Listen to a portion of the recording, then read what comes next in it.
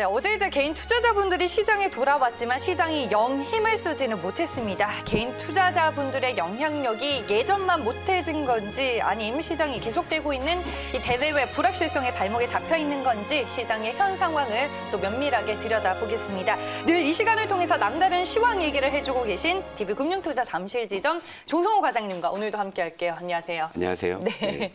네, 오늘도 이제 저희가 시장 주제를 오픈하고 잠시 후에 시장 얘기를 전해드릴 텐데 시장에 대해서 궁금한 점 있으신 분들은 주저하지 마시고 027-4875, 027-4875로 전화 주시면 되고요. 샵 2034로 문자 남겨주셔도 저희가 코멘트 도와드리도록 하겠습니다. 그럼 오늘도 조성호 과장님이 직접 준비해 오신 키워드 보고 시장 얘기 나눠볼게요.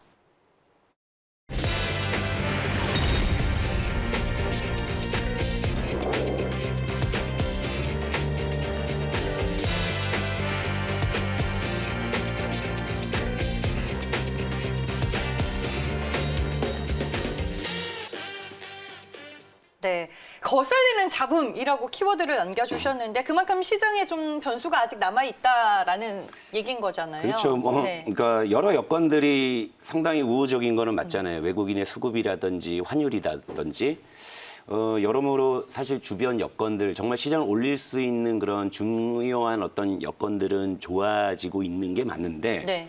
근데 시장이 계속 의외의 모습을 지금 보이고 있잖아요. 분명히 오를 거라고 충분히 생각할 수 있는 시장이 흘러내린다든지 예, 네. 이런 거예요. 그러니까 제가 앞선 시간에서도 몇 번 말씀드렸지만 우리가 이제 뭐 산타렐리니 뭐니 하는 그런 김치국은 지금 마시면 안 되고 음. 항상 그 하방에 대한 경계심은 항상 가져야 되고 그리고 시장에 어, 어느 순간 이제 시장을 또 한번 흔들 수 있는 그 노이즈들 몇 가지 그 거슬리는 잡음들이 분명히 있거든요. 그러니까 이 부분에 대해서 한번 좀 말씀을 좀 드려야 될 것 같아요. 여러분들도 네. 일단 이런 거죠. 그러니까 어, 우리가 뭐 이 매일매일 뭐 종목을 뭐 매매해서 수익을 추구하지만 적어도 오늘 시장의 날씨가 어떤지 그리고 날씨는 분명히 하늘은 파래 보이는데 갑자기 먹구름이 다가올 수도 있는 것이고 그렇잖아요. 그래서 우리가 일기예보를 보는 거잖아요. 그러니까 시장도 정확한 어떤 이제 그 기상도를 한번 좀 머릿속에 그려보시고 여긴 이런 구름이 있고 여긴 이런 구름이 있고 이런 것들은 좀 이렇게 체크하고 가는 게 굉장히 좀 중요하지 않는, 않을까 싶어가지고요.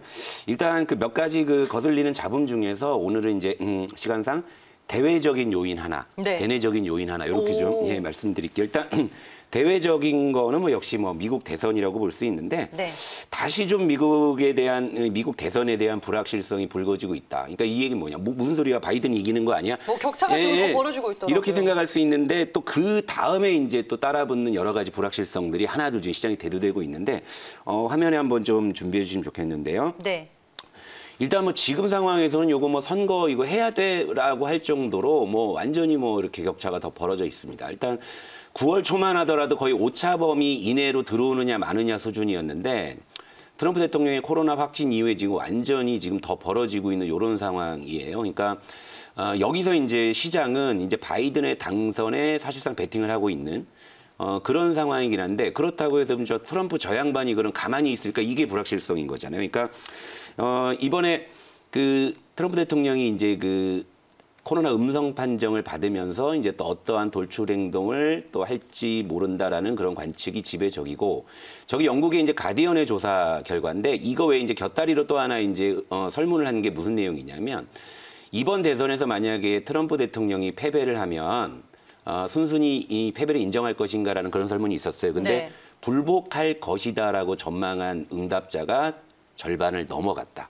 그러니까 트럼프 대통령의 대선 불복 시나리오가 서서히 대두되고 있고요. 그리고 또 이제 어제 또 이 노이즈죠. 아직은 노이즈 단계 왜냐 아직 뭐 시장에 어떤 큰 영향을 준 건 아니었지만 자, 이 신용평가사 피치사, 피치사에서 미국의 신용 등급을 얼마 전에 부정적으로 하향을 했는데 이번에 신용 등급 강등 가능성을 경고했고요. 그 경고한 그 근거로서 지금 현재 미국 대선의 불확실성을 지적을 했습니다. 음.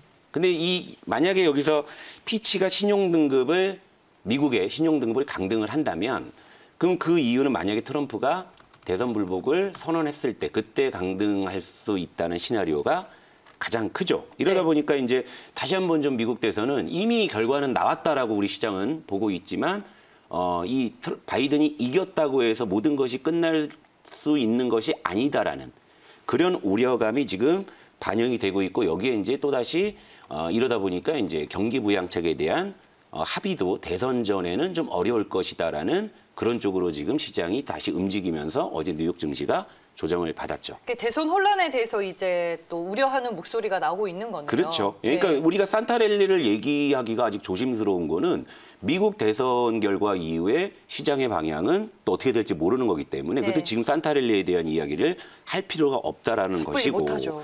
네. 그리고 여기서 또 하나 이제 변수가 등장한 게 있어요. 이제 어제 밤에 이제 등장한 건데 이 조 바이든 후보의 그 아들에 대한 스캔들 요게 지금 어제 이제 미국의 특히 이제 폭스 뉴스를 통해서 거론이 되기 시작했고 이제 국내 뉴스에서는 어, 역시 이제 우리 또 매일경제가 어, 가장 먼저 좀 새벽에 이걸 올렸더라고요. 그래서 네. 좀 내용을 보니까 물론 이 자체가 대선 판돈을 뒤집을 거라고까지 보지는 않고 이전에도 어느 정도 나왔던 이야기지만 이게 대선 전에 불거졌다라는 것은 또다시 미국 대선이 좀 미궁 속으로 빠져들 가능성 뭐 이런 부분들을 좀 암시한다라는 거예요. 그러니까 일단은 이랬을 때 그러면 여러분들은 이거 예를 들면 이거 동학개미 운동 때문에 어 이 최근에 주식을 시작하셔갖고 이 방송 보시는 분들도 많이 계시니까 과거로 한번 여행을 떠나가 보자고요. 네. 코스피 월봉 차트 한번 보여드릴게요.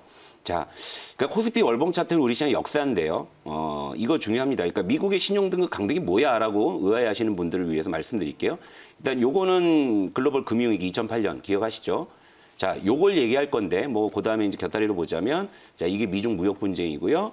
자, 요게 이제 코로나입니다. 그러니까 어, 시장을 급격하게 훼손시켰던 역사적인 이슈가 몇 개 있는데 자, 2011년 8월 요때로 돌아가 볼게요. 요때가 언제였냐면 우리 창식도 잘 아실 거예요. 그때 이제 뭐 그리스발 뭐 피그스 해 가지고 유로돈 어. 재정이 그죠? 기억나네요. 네. 그러면서 시장이 이제 불안불안하다가 갑자기 2011년 8월 여름에 미국의 신용 등급이 강등이 돼 버리면서 한 달 만에 코스피가 무려 20%가 급락을 하고 두 달 동안 30%가 급락한 사례가 있어요. 그러니까 시장의 어떤 기억을 갖고 있는 사람들은 바로 요 부분, 요 트라우마를 건드리고 있는 겁니다. 이게. 그러니까 트럼프의 대선 불복이라는 것이 불복으로 끝나는 것이 아니라 어, 미국의 신용 등급 강등으로 이어졌을 때는 우리가 이 트라우마, 이 트라우마, 네. 예, 요거를 우리가 지금 다시 한번 겪을지도 모른다 라는 그런 우려감이 최근에 어, 시장에 작용을 하고 있다. 어, 요렇게 좀 보시면 될 것 같아요. 뭐 첫 번째 대회 잡음으로는 이제 미국 대선 불확실성 네. 꼽아주셨고 두 번째는 대내적인 요인이 될 텐데 네. 뭘까요? 그 잡음이 창씨도 아실 것 같은데. 뭐. 이게 지금 양도세 부분이잖아요. 네. 이 대주주 이 요건, 요것도 이제 좀 봐야 되는 게 일단 그 가족 연자제 재검토라는 저 부분은 일단은 해결이 됐죠. 그렇기 때문에 이제 그 이제 가족 간의 어 화, 화목이 깨지지는 않을 거예요. 않을 거예요. 그런데 중요한 건 저거를 안 한다고 해서 삼억 요건이 지금 현재 사라진 건 아니거든요. 지금 사실 이 동학개미들의 이 어떤 모처럼의 이, 이 주식시장의 어떤 적극적인 참여, 요걸 고려했을 때 어, 지금 삼억 요건을 계속 강행하는 것조차도 지금 사실 저항이 상당히 강한 이런 상황이죠. 그러니까 이러다 보니까 최근에 이제 유력 그 대선 주자들도 요 부분에 대해서 이제 지적을 하기 시작을 했습니다. 음, 관련 발언들을 이제 또 내놓고 있죠. 예, 그리고 네. 이제 이걸 주관하는 어, 부처의 지금 이제 그 수장분이 이제 또 헤이만이 막 청와대에 막 이런 거기에 국민청원에 막 올라가 있을 정도로 굉장히 그 핫한 이슈가 됐는데요. 자, 이거는 어쨌건 이제 어 우리가 이제 시장, 우리가 시장을 살아가는 입장에서 좀 아전이 있으니까 우리에게 좀 유리한 그런 쪽으로 보자면 요건 좀 한시적인 유예라도 좀 있었으면 하는 바람이 저도 있습니다. 예. 왜냐하면 모처럼 이, 이, 이, 이 동학개미들이 시장에 이렇게 활발하게 참여하고 있는데 대주주 요건 3억, 3억이라면 삼성전자로 따지면 이게 지금 뭐, 뭐 3억이면 이게 정말 대주주 측에도 들지도 않는 정말 소액주주 중에 소액주주일 수밖에 없는 건데 어, 요 부분이 아직 지금 그 확실하게 해결이 안 돼 있는 상황이잖아요. 그러다 보니까 이런 불확실성이 지금 중소형주에 대한 매물 부담을 지금 계속 가중을 시키는 거죠. 그러니까 그럼 코스닥 시장에 또 압박이 될 만한 그렇죠. 이게 이게 네. 그러니까 이러면 이런 거죠. 이제 모처럼 이제 그러니까 최근에 최근에 제가 여러 번 뭐 말씀을 드린 거지만 어, 요즘에 시장 그 레벨 자체는 여전히 2,400 전후에서 움직이고 있으면서 여전히 지수 자체는 괜찮은데 그런데 우리가 생각하고 있는 그런 방향, 그러니까 어, 주도했던 녀석이 조정받고 다시 좀 올라가는 이런 그림이 사실은 가장 우리가 기대하고 있는 일반적인 모습인데 그게 안 나오는 이유 중에 하나가 뭘까요? 저는 신압으로 이 부분이 반영이 되고 있다라고 보는 거고 특히나 이제 대형주 부분은 그게 좀 덜하겠지만 중소형주 쪽은 어, 이런 어, 양도세 회피 물량이 신압으로 지금 출회되고 있을 개연성이 충분하다라는 거고 요것도 이제 시간 여행을 한번 떠나볼게요. 코스닥의 월봉 차트도 한번 보시죠. 예, 보시면 자, 요건 짧게 보여드릴게요. 자, 요건 제가 일부러 선을 그어놨어요. 요, 네. 요, 요, 요, 세로 선이 뭐냐면 연간이에요. 월봉이니까 한 해, 한 해, 한 해를 나타낸 건데 제가 다 동그라미 쳐놨죠. 자, 보세요. 자, 코스닥이 최근에 몇 년 동안 계속 상고하죠. 상고하죠. 상고하죠. 그리고 이제 이런 거 있잖아요. 찬바람이 불면 어, 내가 떠난 줄 아세요 노래고 그리고 지금 찬바람이 불면 보통 이제 배당 이렇게 얘기 나오는 게 정설이었는데 지금 찬바람이 불면 양도세 이- 이제 이렇게 지금 고착화되는 거죠. 그러니까 항상 이제 그 이 연말에는 코스닥이 약세를 보이는 이유 이것이 바로 양도세 때문이었거든요. 그러니까 요 부분이 지금 또 특히나 중소형주 쪽에 이제 변수로 작용할 수 있다라는 거. 요 부분이 여러분들께서 그러니까 요 두 가지 대내 대외적인 요 노이즈를 한번 좀 체크하시고 시장에 좀 접근하셨으면 좋겠어요. 네, 이 두 가지 요인 때문에 이제 뭐 남은 11월, 12월 시장에서 좀 쉴까라고 생각하시는 개인 투자자분들이 네. 정말 실제로 좀 많은 것 같더라고요. 오늘 이 두 가지 자본에 대해서 저희가 얘기를 나눠봤고요. 어떤 문의들이 또 접수가 됐는지 마지막으로 정리를 해볼게요. 네, 오늘 문자와 전화 접수 내용 보시면요. 뭐 미국 대선 앞두고 대응 전략을 어떻게 해야 할지 그리고 코스피 시장 대선 이후의 방향성 궁금하다라고 문의 남겨 주셨습니다. 저희가 방송이 끝난 이후로 추후에 코멘트 도와드리겠습니다. 네, 지금까지 DB 금융투자 잠실지점 조성호 과장과 함께했고요. 내일 또 만나 뵙겠습니다. 고맙습니다.